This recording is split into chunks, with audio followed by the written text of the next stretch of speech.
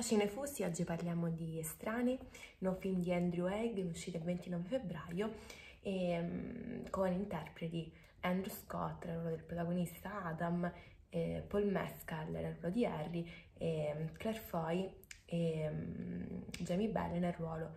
eh, dei genitori di Adam, Andrew Scott. Il film è di un regista eh, secondo me molto promettente, che ha già dato modo di eh, far vedere le sue capacità tecniche, stilistiche e la sua poetica. Infatti vi consiglio, se non l'avete visto, di recuperare 45 anni, che è un film bellissimo e, e che secondo me eh, appunto continua questo percorso ehm, introspettivo all'interno ehm, della psiche, della psicologia del, del personaggio principale, quindi si concentra diciamo molto su quello, sul suo eh, protagonista e su quello che è il suo sentire, le difficoltà e in questo caso i traumi del, dell'infanzia, del passato. E um, una storia secondo me molto, molto bella eh, che è tratta originariamente da un libro di Ichi Yamada e appunto Estranei eh, ma eh, Andrew Haig che sia lo dirige che lo scrive e mh, modifica ampiamente la storia eh, intrecciandola con episodi, eventi e, mh, della sua stessa vita, quindi a degli eventi autobiografici e, che secondo me rendono il film molto potente e intenso per questo motivo. La storia narra di un sceneggiatore che mh, ha un sorta di blocco dello scrittore per cui eh, riguardando foto dell'infanzia, del, di quando era ragazzo decide di recarsi nella sua casa d'infanzia, appunto, da, si sposta quindi dalla City, da Londra, per andare eh, in provincia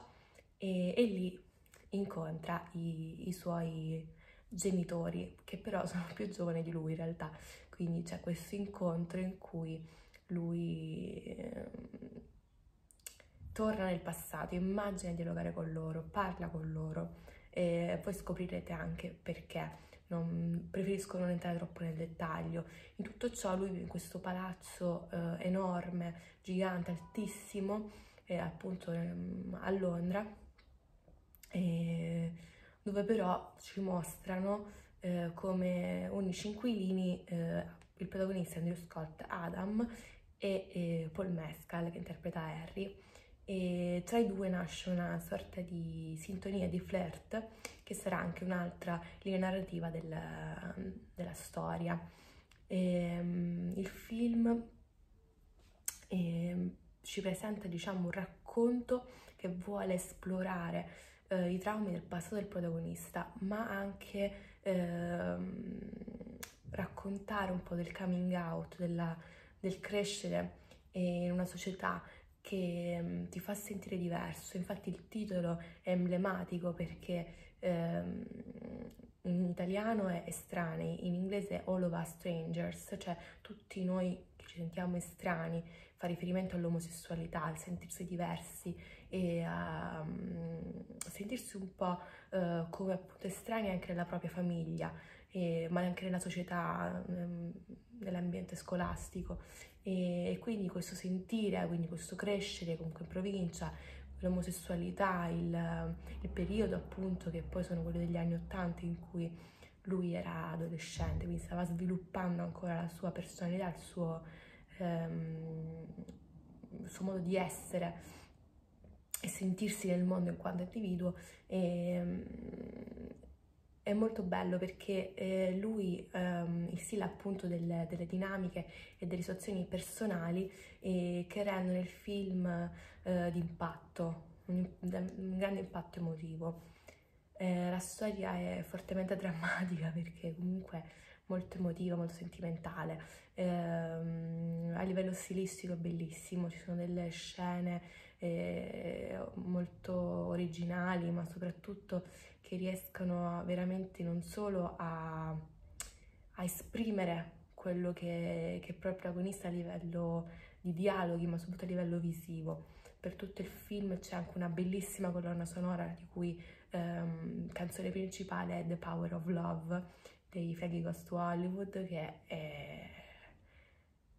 secondo me racchiude molto il sentire e il, um, il tema focale della, della, storia, che poi alla fine è anche l'amore, il desiderio di sentirsi meno soli, sentirsi amati e amare. E una, una scena finale secondo me è fortemente poetica e di impatto, veramente un grande impatto, non riesco a smettere di pensarci e mh, mm, quando la vedrete, se la vedrete, penso che vi lascerà anche a voi e, senza parole, ma per la sua bellezza, una bellezza e una, un'originalità che veramente questo autore mh, riesce a, a creare un film, un'opera molto personale, ma che in realtà tocca il cuore e l'anima di tutti. E vi consiglio di andarla a vedere, fatemi sapere che ne pensate, iscrivetevi alla pagina, mettete un piace al canale e ci vediamo alla prossima.